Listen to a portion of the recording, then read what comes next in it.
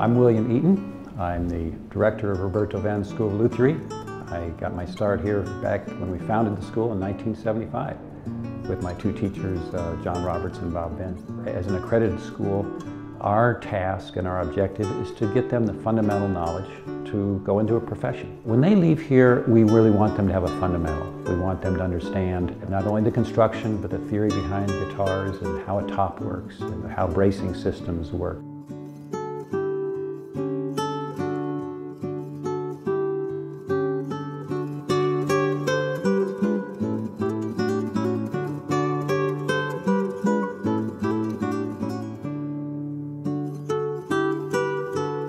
I want to provide these guys with something that gives as much back as it's given me because I can't not do this. And just to pass on the craft and, and providing these guys with a lifestyle, they can make a living enjoying what they do instead of having to go to work wanting to go to work.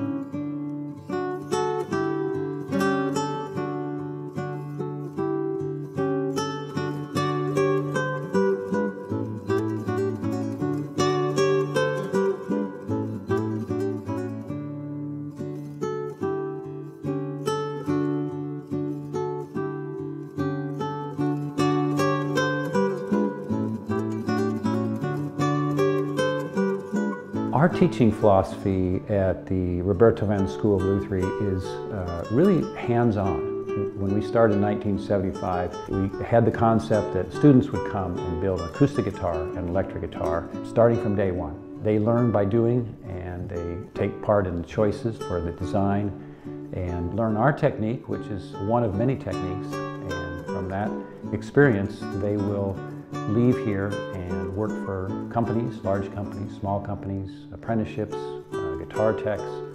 In that regard, they take the experience here and then learn in other situations as well. One of the most important things about the school really is our instructors. The instructors who on a day-to-day -day basis are so involved and dedicated with the students. The one-on-one -on -one instruction that they do, that's really what the school is about.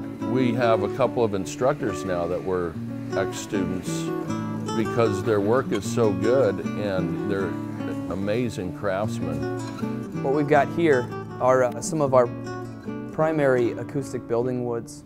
Um, we have two options for the tops. One being cedar, typical fingerstyle type of wood.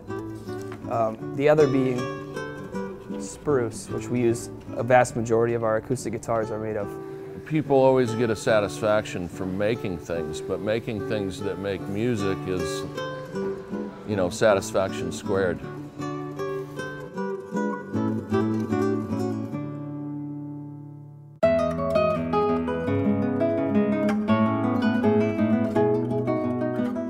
The instrument is kind of a vessel.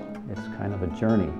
And I see this in all my students and experiences that they have. And we've been carrying on this symbiotic relationship with trees ever since the beginning. Getting to work with trees and wood is certainly a pleasure and there's much depth to it. You keep learning as, as you go and we're all beginners for sure.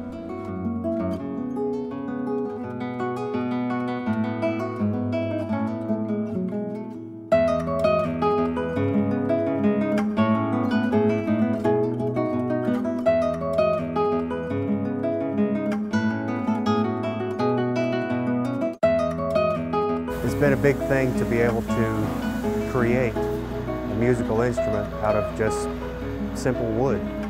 Just to start from scratch and craft something that not only expresses the individual, but helps reach other people.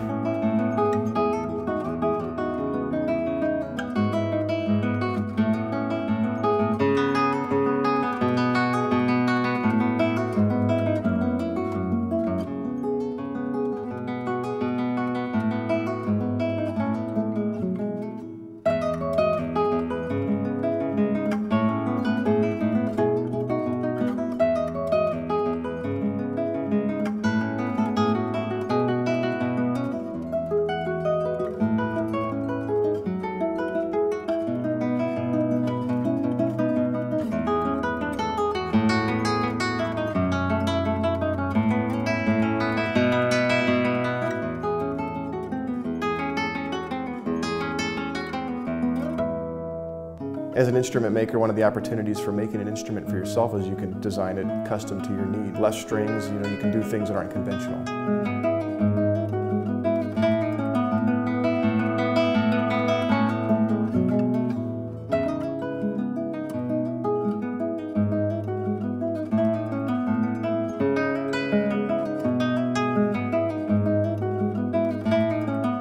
I've come to appreciate that it's a life-changing experience for these students. You watch their life change kind of before your eyes because it's a very intensive experience. They're here nine hours a day, five months. As I mentioned before, the journey of starting from scratch and building a guitar, when they see that finished instrument at the end of the, of the day and they've, they've had their heart and soul in it and their sweat in it, uh, it's, uh, it's kind of a wonderful experience and a life-changing experience. When I decided to come to Roberto Venn, I was working as a currency trader in a big corporation. I just decided that I was sick of the, you know, the regular day job where you're sitting in front of a computer all day. I wanted to work with my hands. The guitar is an instrument that speaks to me in, on so many levels. I think from a tonal aspect, it's something that I was always attracted to. It's also a very sensual, beautiful instrument. Students will take away from their experience at Roberto Venn a sense of pride. Once they spend five months here, they realize it's a lot of hard work, but it's, it's quite an accomplishment for a lot of the students. The magic moments are kind of hidden within the, day-to-day experience. Uh, and all you have to do is open your eyes and walk over and watch a student carefully at work and see their level of concentration when they put the strings on for the first time. You see a light in their eyes and a glow and a joy that you know will stay with them the rest of their lives.